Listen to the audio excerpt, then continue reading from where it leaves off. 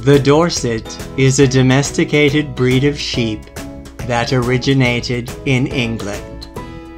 History records that in about the 17th century, merino sheep were brought into southwest England from Spain and were crossed with the horned sheep of Wales, which produced a desirable all-purpose sheep which became known as the Dorset Horn. The Dorset Horn is highly prolific, capable of producing two lambings per year. It is the only British breed of sheep that is capable of breeding throughout the winter.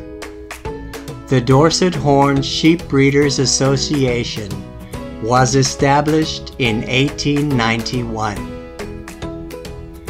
Beginning in the 1860s, the Dorset horn was exported from England to many countries, among them Australia, South Africa, and the United States.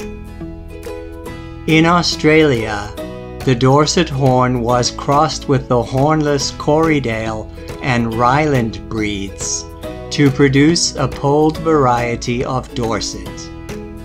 In the United States, polled Dorsets originated at the North Carolina State College spontaneously by way of a naturally occurring gene mutation in a registered horned Dorset flock.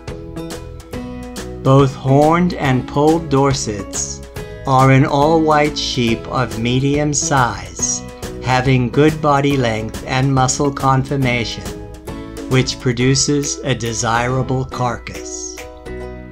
The ewes are good mothers, good milkers, and multiple births are common.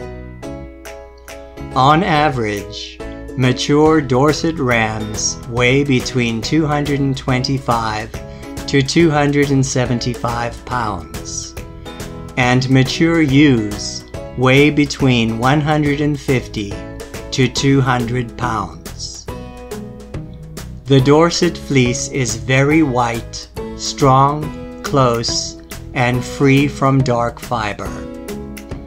Dorset fleeces average 5 to 9 pounds from ewes, with a yield of between 50 and 70 percent.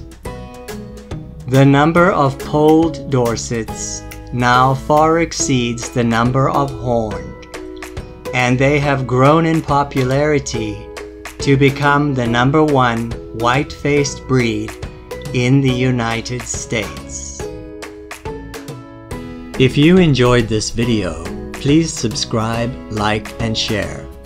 Don't forget to click on the bell icon so that you'll be notified whenever a new video is posted.